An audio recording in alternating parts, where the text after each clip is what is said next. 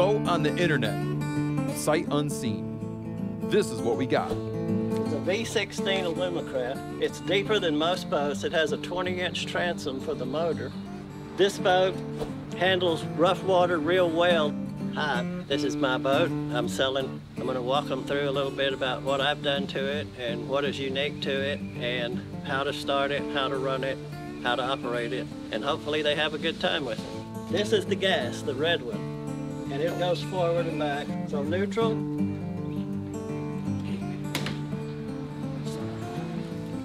I think we just broke the shifter. Gotta get it back in neutral. This old plastic stuff just broke on us.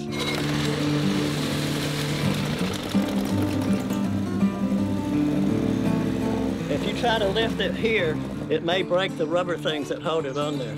We had no idea what we were getting into. This one is the lights. Yeah. They used to work.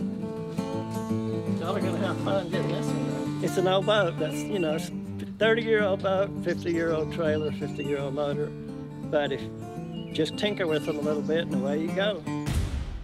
We're taking this boat from Texas to Florida to Georgia, putting it in situations it was definitely not designed to handle. What was that?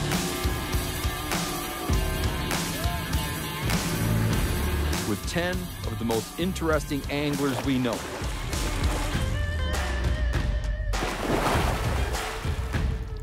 Touching hands. They'll each get one day to make whatever modifications they want.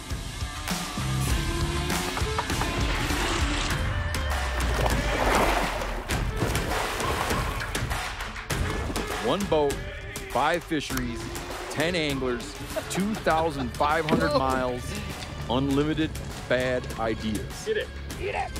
Get it. Got it. This is Das Boat.